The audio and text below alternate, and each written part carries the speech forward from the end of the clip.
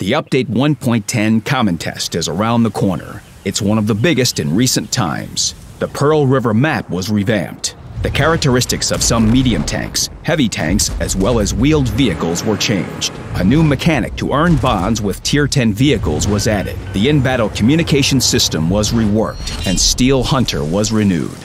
Let's dive into the details. Conducting vehicle balance changes is a constant process. At the moment, it's clear that the performance of some medium tanks stands out from the general pool of vehicles, namely the Progetto 65, the Object 430U, and their Tier 9 predecessors. Now is the time to tame their temper.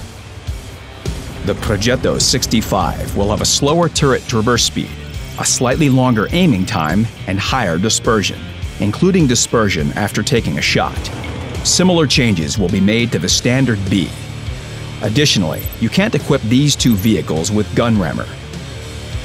The auto-reloading mechanic won't change in any way, nor will the playstyle of these Italian tanks.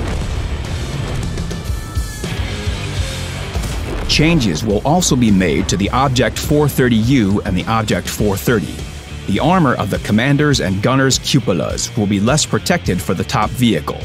Also, gun dispersion on the move and on turret traverse will be higher. The balance changes for the Tier 9 Object 430 will only affect gun dispersion. The changes to their characteristics will correct the general performance of these vehicles while keeping their key features. You can learn more about the changes to these medium tanks from the dedicated article on the website. Balance changes to wheeled tanks that at times perform too brilliantly in battle are being discussed. The likely solution seems to be decreasing their maximum speed and acceleration dynamics, while also slightly nerfing their gun parameters. An important change will be the adjusted penalty to speed when the wheels are damaged.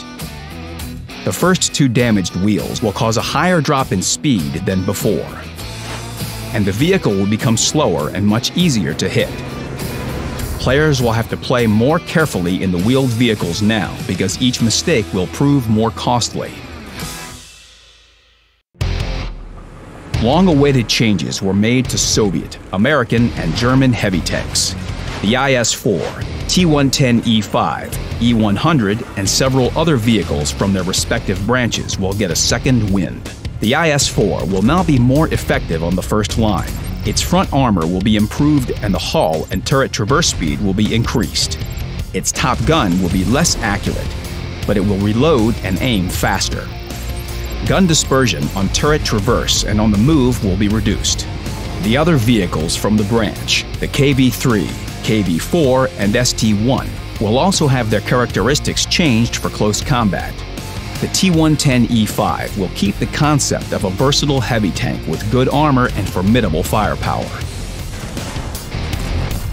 Its accuracy and damage per minute will improve. The combat qualities of the M103 and T32 will improve as well. The E100 Super Heavy tank will become more resilient. The front of the turret will gain additional armor. Now it will be harder to penetrate its cheeks. The E100 will also receive a new, alternative gun that's better suited for close combat. It's less accurate, but has higher damage and a better rate of fire. Also, the aiming time for the 15cm gun will be reduced. Other vehicles of this branch will receive new, more effective guns. All of them will have their turret armor improved. You can learn more about the new characteristics of the heavy tanks of these three nations from the dedicated article on our website. Currently, there are several ways to earn bonds in the game. One of the most popular and available is playing random battles in Tier 10 vehicles. But there's one nuance. You can't predict the number of bonds you earn at the end of battle. You can't predict whether you manage to earn epic or battle hero achievements. That's why it's time to change the system to one that's more transparent and predictable. Achievements won't earn you bonds anymore. There weren't many of them, and earning wasn't predictable. In the new system, you can earn bonds in all battles with Tier 10 vehicles, not just in same tier battles. The following rules will apply to random battles Players in the top three on the winning team by experience earned receive 7 bonds. Players in the top 10 earn 5 bonds. Players on the losing team will get 5 and 3 bonds, respectively. Every Tier 10 vehicle can earn up to 50 bonds each week. The current number of earned bonds can be seen in the tank carousel above each vehicle.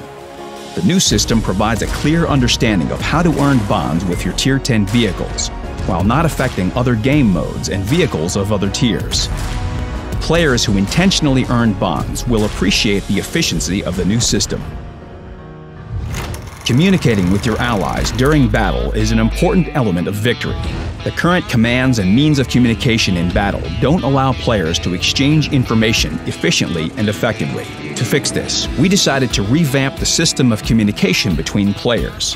With Update 1.10, players will be able to place different markers on the battlefield, signal allies, and interact with friendly or enemy bases. There will also be new commands for the minimap. Location markers will be displayed on both the battlefield and the minimap. Allies can react to such markers, and the number of players willing to support you will be displayed alongside. If someone on your team points out that they're ready to cover you, you can thank them right away. The radial menu of commands will change significantly. New commands will appear. During the pre-battle countdown, the key points will be marked on the map. You can declare your intention to move to a certain position by clicking one of the markers. New communication opportunities will help players effectively coordinate their actions in battle. Go to the common test, try it for yourself, and share your feedback. Now let's take our minds off all the technical details and contemplate something beautiful. The long-awaited Pearl River map returns to the game with a brand new look. It's significantly changed in terms of how it looks and how it plays. The picturesque Chinese landscape will enthrall anyone who is visiting this location for the first time. There hasn't been such a setting in World of Tanks before. Pearl River has a lot of pleasant surprises for tank battle veterans. The main problem of the old map version was its corridor-like layout. This flaw has almost completely disappeared with the new version. The routes are now clearly connected. Wide spaces have replaced the narrow passages. At the same time, there are many ways to flank the enemy. Players have waited for a long time for Pearl River to return, and it will become a new place for tank clashes very soon. The map is available for standard and encounter battles in vehicles from Tier 3 to Tier 10. During the Common Test, you'll be able to try the latest version of Steel Hunter, which is part of the big expedition for the first time five new tanks divided into three classes with different abilities and playstyles await players. Well-armored survivalists, dangerous hunters, and a swift scout. Everyone will find a vehicle to their liking. During the battle, tanks still change their appearance and characteristics, but now there are fewer tiers and fewer upgrade options. It will be simpler to make decisions, but the diversity will remain due to the higher number of vehicles. Go to the Common Test, examine all the new features, and share your feedback. Update 1.10 will be extensive. This means there's a lot to do during the Common Test. Check out how familiar vehicles have changed. Explore the legendary Pearl River. Examine adjustments in Steel Hunter. Be the first to try out the revamped mechanics for earning bonds and communicate with allies in a new way. Good luck on the battlefield.